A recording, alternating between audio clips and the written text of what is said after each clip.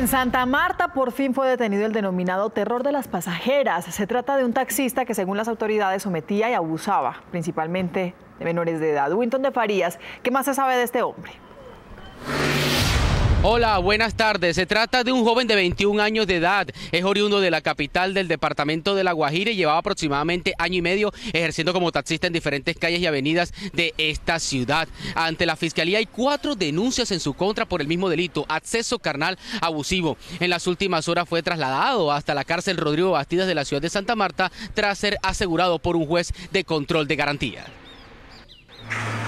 Según la policía, José Alberto Yepes Ariña, de 21 años, recogía a sus víctimas y luego abusaba de ellas. En la fiscalía reposan cuatro denuncias contra él.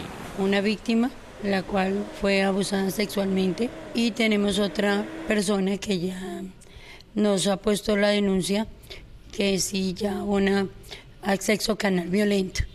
Eh, contra una menor de 14 años. El llamado terror de las pasajeras fue detenido en el barrio 11 de noviembre en el nororiente de Santa Marta, tras un trabajo intenso de inteligencia adelantado por la SIGIN.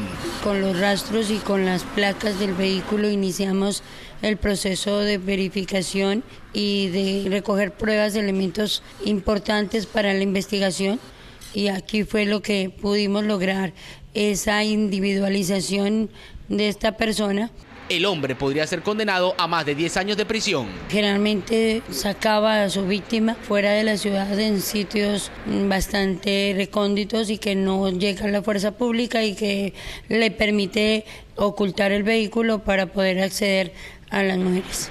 Después de la audiencia pública, el taxista fue enviado a la cárcel de Santa Marta el número de la placa, así como también eh, la identificación de esta persona a través de sus rasgos físicos, fue fundamental en la investigación para que integrantes de la SIGIN, de la Policía Metropolitana de Santa Marta, pudieran dar con su captura. Este hombre, repetimos, ya se encuentra en la cárcel distrital y en, y en los próximos meses un juez de conocimiento será el que defina su situación jurídica.